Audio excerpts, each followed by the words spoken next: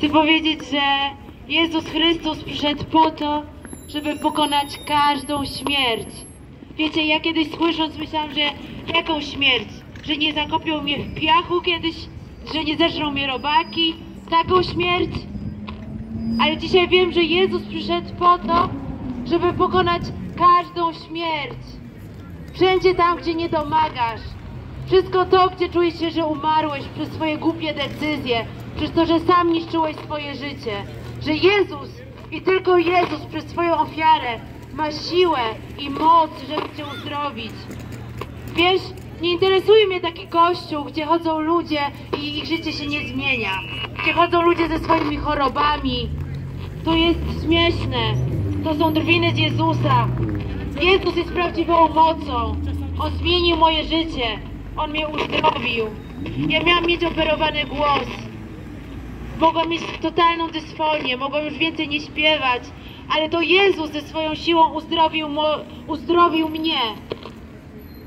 Wiecie, ja jeszcze studiuję na uczelni i tam mamy nowego portiera i ten portier ma po prostu krzywe nogi. Ja podeszłam do niego i zapytałam się, czy wierzysz w Jezusa? On powiedział, tak, wierzę w Jezusa i zapytałam się go, może chciałbyś, żebym się pomodliła.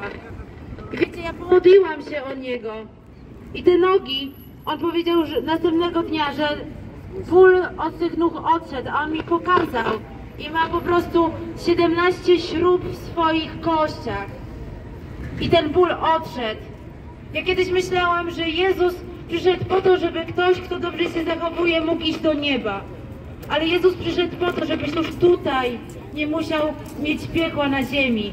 To nie chodzi o to, że twoje życie musi być całe zniszczone, ale o to, że diabeł przyszedł po to, żeby grabić cię z wolności. Z wolności do twojej decyzyjności, z wolności do tego, że jesteś wartościowy, z wolności do tego, że jesteś piękna, z wolności do tego, że możesz robić w swoim życiu co chcesz, Cieszę, że możesz spełniać swoje marzenia. Wiele religijnych ludzi żyje zamkniętych jak w pudełkach. Często ludzie, którzy nie przyznają się do Jezusa, mają bardziej otwartą głowę niż ludzie religijni.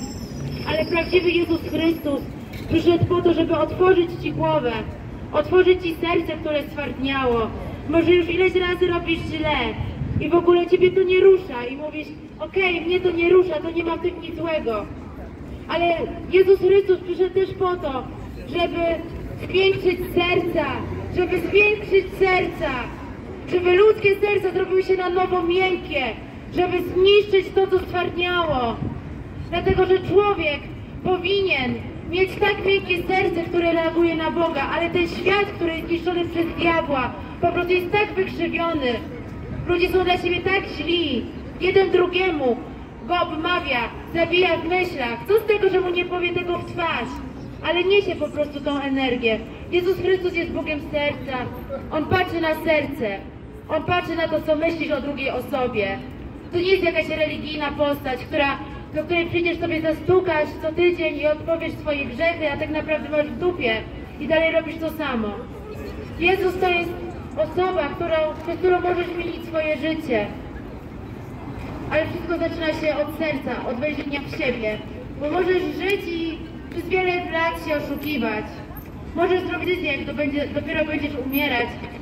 Wiecie, bardzo blisko przyjaźni się ze swoją profesorką, która spotkała Jezusa. I dopiero teraz jej mąż, który umiera, dzwoni do niej, bo chce ją za wszystko przeprosić, za to jak traktował się ją całe życie. I on dopiero teraz woła do Jezusa. Ale dlaczego teraz chcesz dopiero wołać do Jezusa? Jak możesz mieć całe życie uratowane? Jak możesz być szczęśliwy? Wiesz? I znam różnych ludzi, znam różnych ludzi ze świata artystycznego.